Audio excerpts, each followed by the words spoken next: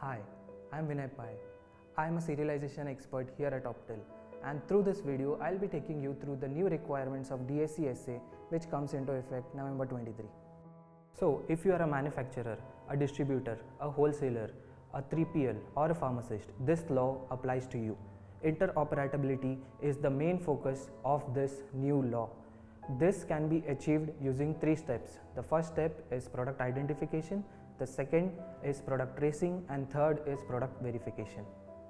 So the first step involves the product identification which can be achieved by marking the product at the primary level with four parameters. The first one is NDC which is the national drug code, the second lot number, the third expiry and the fourth which is the most important which is the serial number.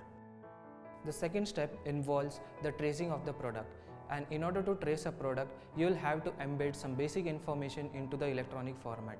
The three T's which are the TI, TH and TS are to be maintained as an electronic format for nearly 6 years. TI which is the transactional information, TH which is the transactional history and TS which is the transactional statement. These statements are to be sent to the next authorized trading partner before the shipment in case the FDA or any other regulatory bodies finds any anomaly and in order to trace a product they would need this product tracing information in hand and are to be maintained by the authorized trading partners. The next step involves verification of the product and in order to verify a product trading partner should have automated practices in place to track the item up to the item level and aggregation data if any needs to be taken care of. This also applies to sellable returns. If any suspicious products are found, it should be reported to FDA within 24 hours. Automated practices are to be in place to ensure quicker responses to any verification.